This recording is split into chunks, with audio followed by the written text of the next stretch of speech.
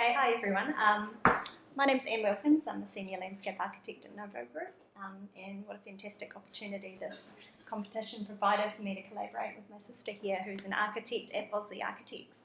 So, just the two of us. Um, we had a lot of fun doing this.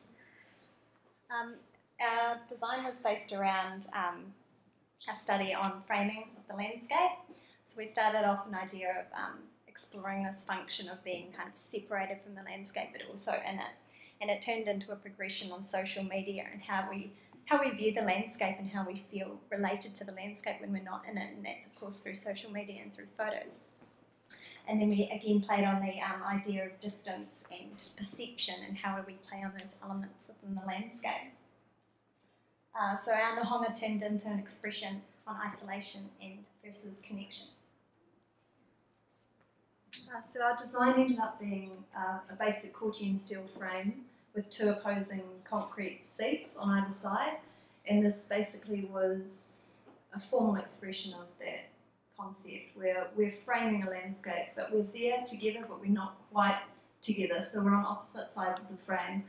Um, when we developed this further, we, we looked at materiality, so we wanted to incorporate Corten steel and concrete, just some really nice raw materials to express um, the landscape that it was sitting in. We're incorporating uh, LED lights.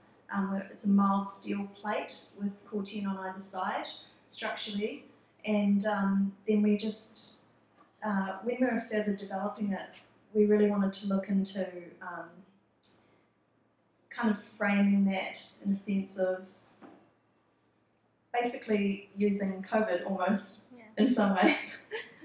Yeah, I think it was a, it was an interesting process because as we moved through the design, of course, everyone's in the same uh, context that we had this weird lockdown experience. So, what did it mean to be connected versus isolated was a real um, real time function.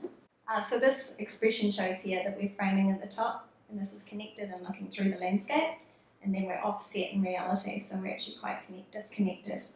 Uh, so again, we wanted our seat to work in different environments. Of course, we're landscape architects here, and um, what did it mean to be in an urban environment? We pictured it here being really collaborative, really fun, lots of um, lots of interaction, so people can take their photos, take their Instagram shots. Um, we can have um, kids playing in the shadow of the Corten steel, because the Corten steel you may have picked up from an earlier slide is set at a two metre distance, so it's got the scale ruler um, laser cut into the. So we liked that idea that people can really connect with the element when it's sitting in the landscape. And then, of course, when we were looking at that wider concept, going back to our idea of framing, was um, the next shot, which was um, in a landscape setting. So if we had it in a, in a Brick Bay environment, um, hopefully uh, that would be fantastic. And it's a, bit, it's a bit more of a place for reflection and quiet um, thought, and we really wanted to capture that moment in time that we've all been through. You know, this really crazy environment of being two metres social distance from each other. Um, what does that mean? What does that look like? And so it's a real um, representation of that. And of course, stepping back from the from the Nohonga, you can frame a view. It can be lined up with a protected tree. It can be lined up with a sculpture in the landscape. It can be lined up with a building. Mm. Um, so yeah, that's our seat, and we had a little fun. Thank you very much.